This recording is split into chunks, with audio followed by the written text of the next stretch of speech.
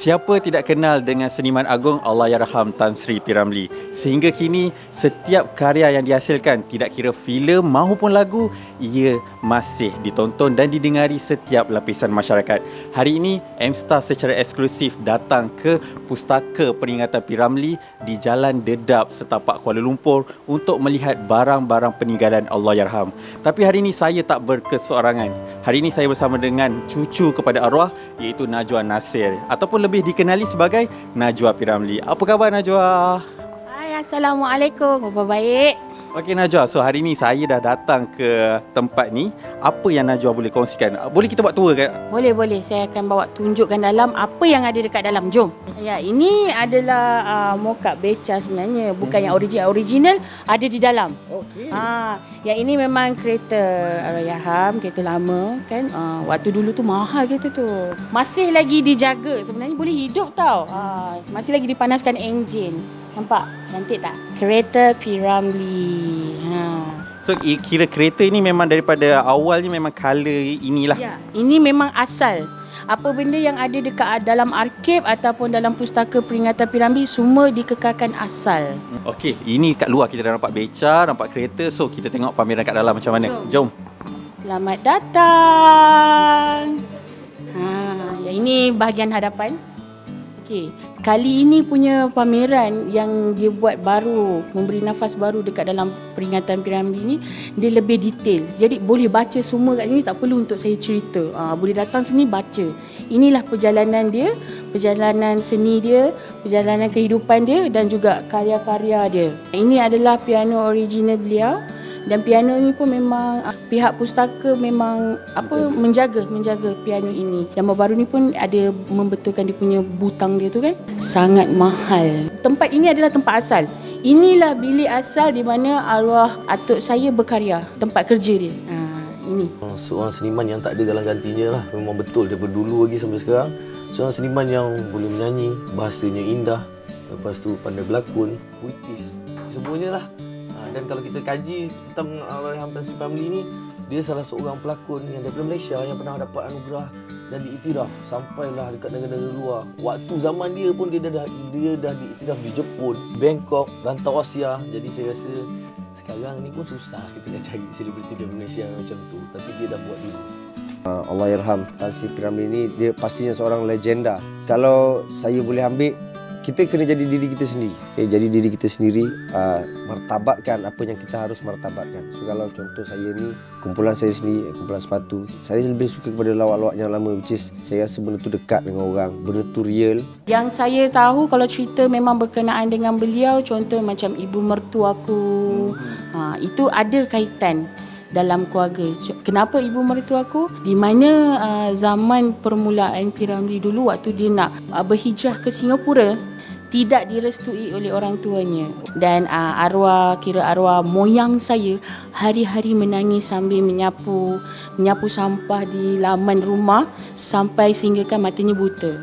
Jadi di dalam uh, ibu mertua aku Kasim Selamat kan dia cocok mata buta. Ha, jadi benda tu sebenarnya ada relate dengan kehidupan dia. Itu memang cerita betul daripada family. Keluarga nenek saya punya adik-beradik tu, ha, dia punya anak-anak dia tu lah yang cerita dekat saya. Berapa orang yang duduk kat dalam rumah tu.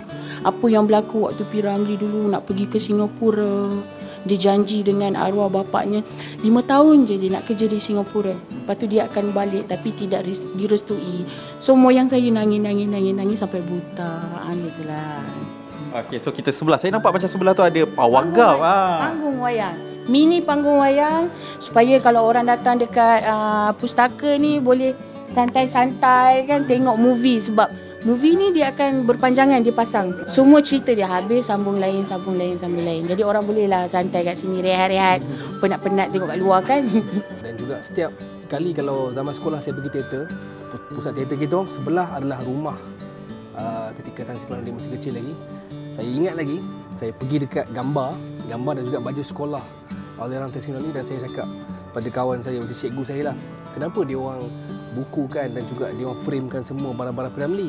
Sebab dia kata Piramli ni legend.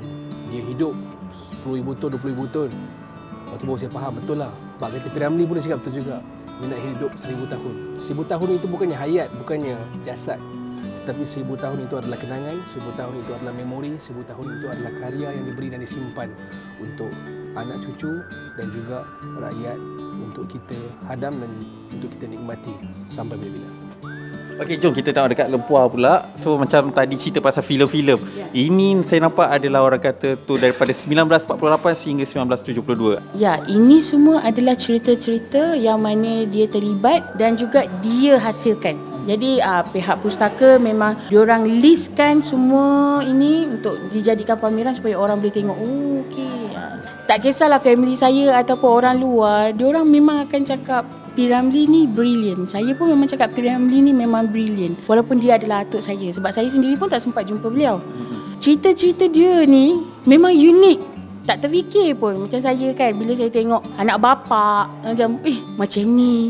Macam tak sangka kan rumah bawah tu ada mahkamah apa ha, macam tu kan. Tapi macam bagus kreatifnya macam tu kan. Kenapalah I tak kreatif macam tu. Wah gitu.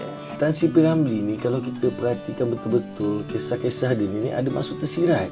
Itu yang buatkan cerita dia kita rasa mahal dan ada jiwa sampai hari ni. Contohnya kisah yang Tiga Abdul. Karam. Ah, kalau marah aku jual apa benda semua kan. Kalau faham balik kisah dia tu dia ada bagi satu cerita lain yang mana saya saya pun tak boleh nak cerita kat sini. Ah, tapi kalau korang perhati balik itulah sebab-sebabnya yang buatkan saya rasa cerita P. Ramlee ni berbeza daripada yang lain. Dan saya suka bahasa-bahasa yang digunakan dalam cerita-cerita dia. Apa yang saya tahu ini adalah dia punya barang-barang peninggalan dia, violin dia dan kita semua tahu P. Ramlee adalah seorang yang macam piano, macam violin yang bergesek semua tu itu adalah memang dia punya permainan dia. Dan itu adalah buku kerjanya, itu tulisan asalnya. Cantik kan? Hmm.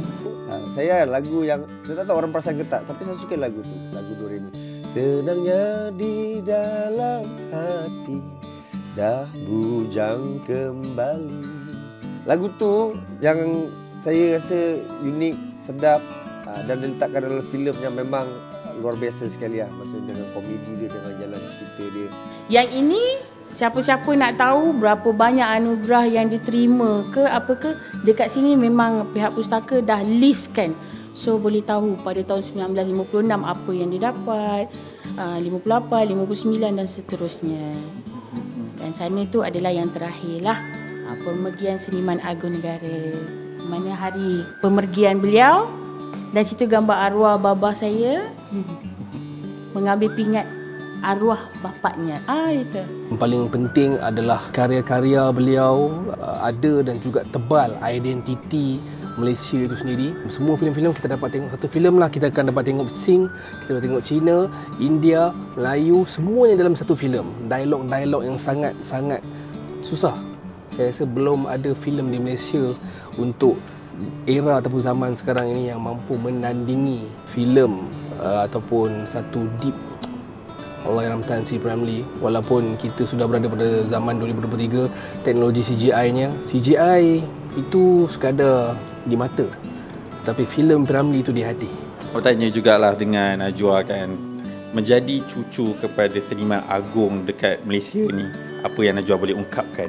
Sebenarnya saya takut. Siapa yang tak takut kan bila tiba-tiba kita ni berada di dalam keluarga yang legend, yang orang agung-agungkan.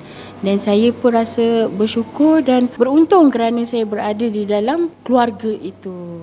Cuma dulu masa saya zaman-zaman kecil dulu tu adalah rasa macam sakit sikit lah kepala saya sebab bila orang uh, try compare kan saya dan juga beliau saya tidak ingin menjadi seperti beliau tapi saya nak teruskan apa perjuangan beliau mengikut apa yang saya mampu buat macam Najwa cakap tadi orang compare kan Najwa dengan Allah Yarhamkan.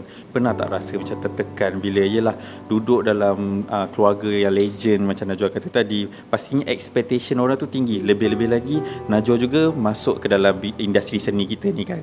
Apa yang Najwa boleh katakan? Kalau dulu tu memang saya agak terkesan jugalah bila orang compare kan tu. Tapi sekarang tidak lah. Sekarang pun kita macam orang nak cakap apa biarlah orang nak cakap kita tak nak ambil kisah sebab saya yakin memang daripada kecil uh, saya berada dalam industri ni dengan usaha saya sendiri, kaki saya sendiri.